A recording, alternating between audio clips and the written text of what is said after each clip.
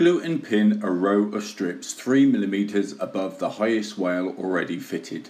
The, cap, the gap can be reduced to 2mm if your wales are fitted higher than in the photos shown in your instructions.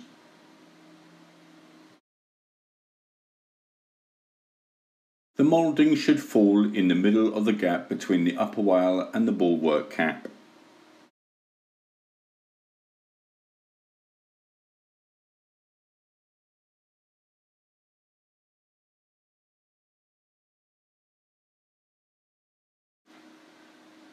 Carefully pull out or cut off the pins when the glue is completely dry.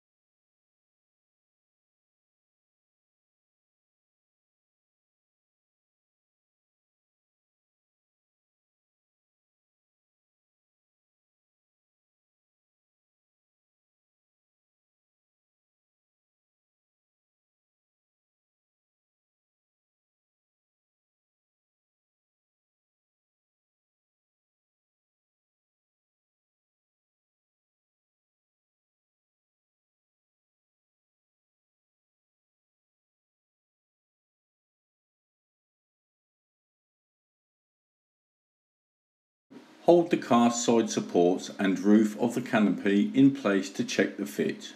You may need to file the tops of the supports to match the angle of the roof.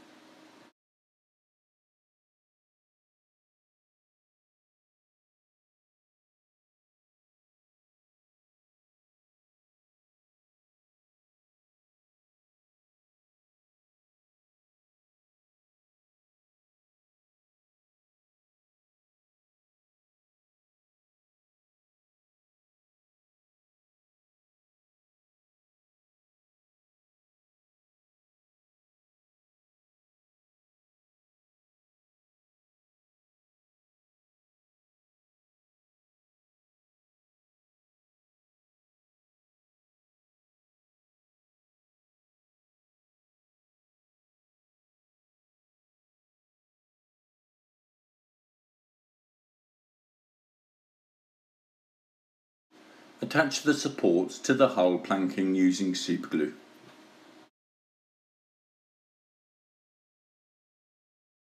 When fitting the side ladders, mark the edges of the steps using masking tape, using the picture in your instructions and the notes as a guide.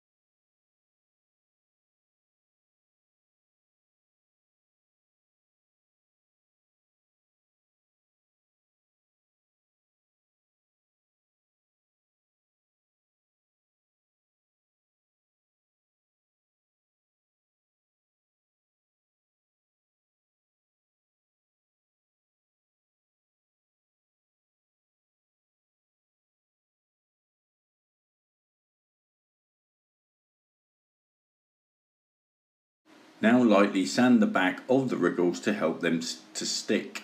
Then glue them in place with superglue.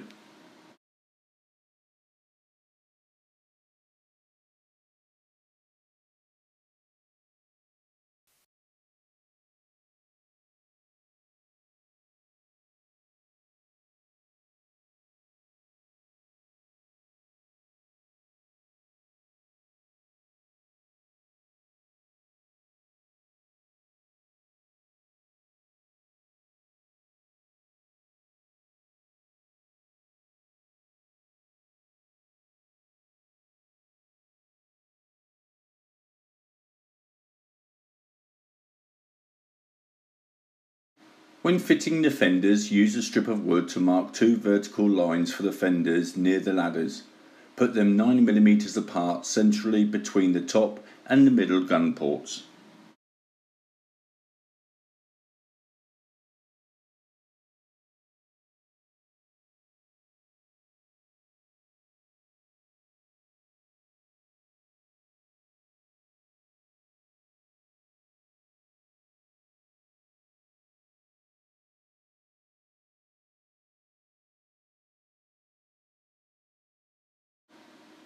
Cut 2 by 2 mm strips to fit between the wales and mouldings.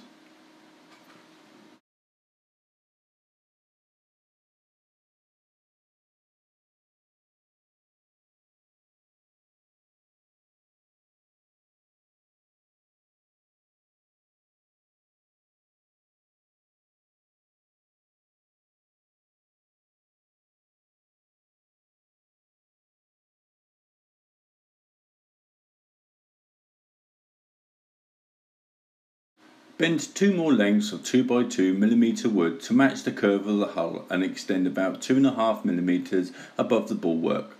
Sand the radius on the bottom ends, then glue these strips into place.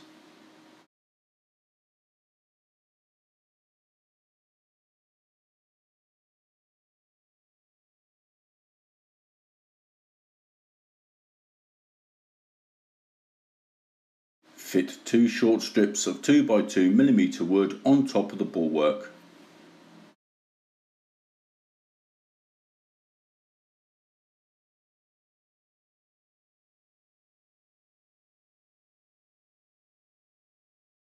When the glue is dry, sand the tops of the vertical strips flush and sand a radius on the end.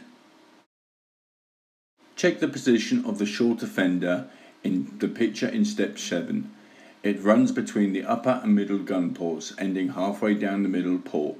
Glue pieces of 1x3mm wood between the wales and mouldings.